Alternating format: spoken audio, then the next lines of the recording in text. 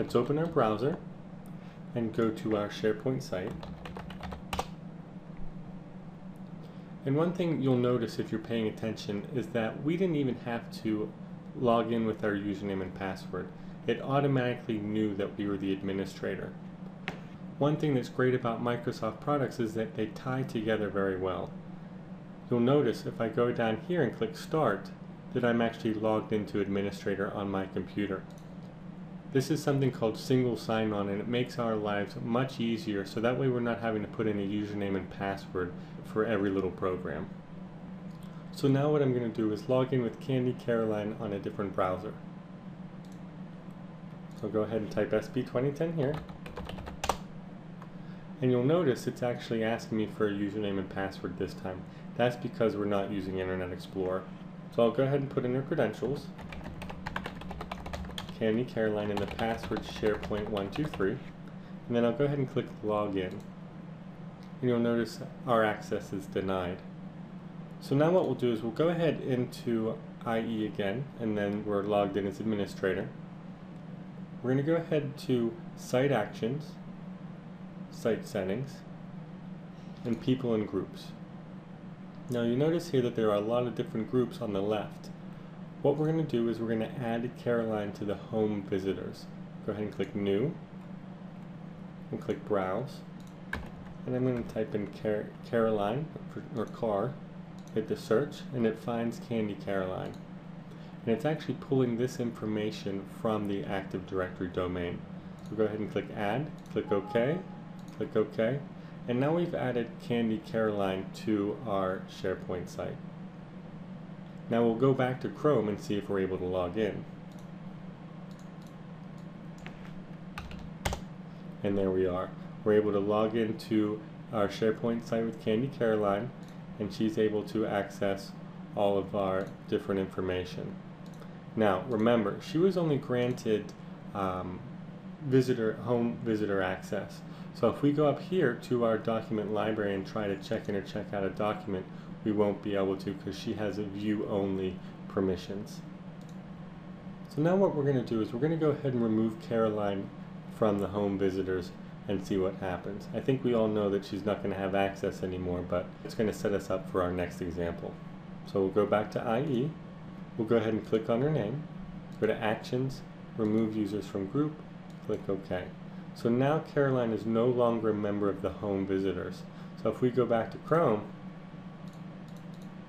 hit enter to refresh the page, what's going to happen? Access denied. Okay, that's exactly what we thought. So now we'll go back to IE. Now Caroline is no longer a member of the home visitors and won't have access to the site.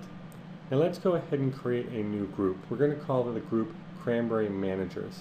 So we'll go to Stores, Cranberry, Site Actions,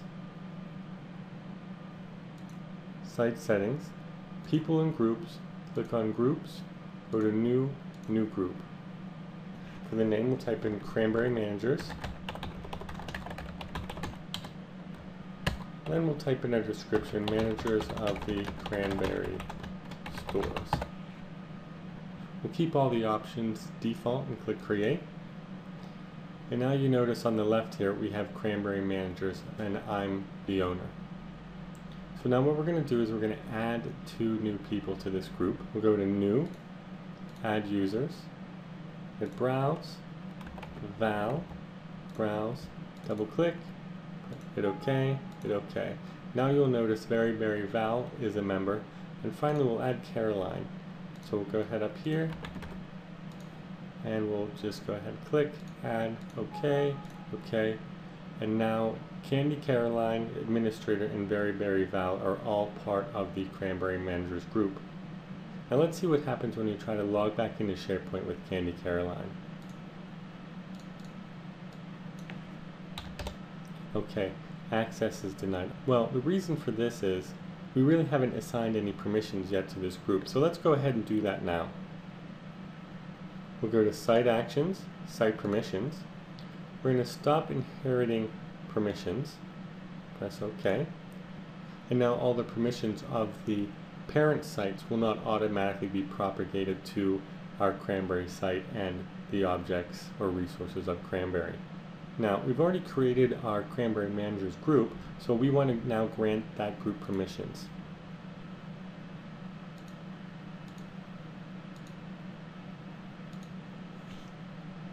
Browse, Cranberry, Cranberry Managers, okay. Then what we'll do is we'll do full control and press OK. Does this mean Cranberry Managers have full control of any of Cranberry's parents? Well, let's find out. We'll see if Caroline can log into our home or root site.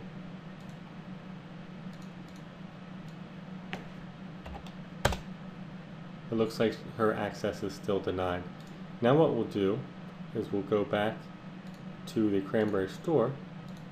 We'll copy this, or I could have typed it in manually. You'll notice our layout is stores, then Cranberry, then default ASPX. We'll go here, and we'll hit Control V to paste. Press OK. And look, Caroline now has access to all of the Cranberry information. And if, and if she wants, she can actually create uh, lists or any item in here because she has full control. So now let's go back to our Cranberry group and change its permissions around a little bit. Go to Site Actions, Site Permissions. We'll click Cranberry Managers and click Edit Permissions. This time we'll change from Full Control to Read. The reason that happened now is because I'm signed in as Candy Caroline and I just removed her full privileges. But if we go back to here, if we recall our default.aspx, she still has view permissions. So let's go ahead and click on lists. And now you'll notice that create button is now gone because she only has view access. Now this time to change the permissions, I have to go back to IE because Caroline does not have full access. Go to Site Actions, Site Permissions, the Cranberry Managers, Edit Permissions, and we'll go back to Full Control. And now we'll go back to Caroline, we'll go to Lists, and now her Create button is popped up. Now just to recap, Remember, the permissions that Caroline now has is full control for anything that is a child of Cranberry.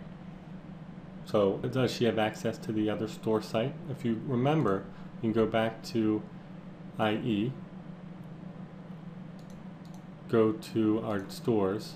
If we go to Mars, does Caroline have access to Mars? No, she does not. And that's because her permissions were given at Cranberry and they weren't given to the Mars location. Okay, we're going to go back into IE. And finally what I'm going to do is I'm going to go ahead and show you how to delete a group. We'll have to go to the correct site, go to Stores, Cranberry, we'll go to Site Actions, Site Settings, People and Groups, click on Groups, and then we'll go to Cranberry Managers, click on Edit, and then we'll click Delete. And OK. So now we're back to exactly where we started, only this time now we know how to manipulate users and groups within SharePoint. I hope you guys enjoyed the lesson today. Uh, feel free to let us know how we're doing and if there's anything else that you would like to see in any of these videos. Thank you everyone for joining us and I'll see you next time.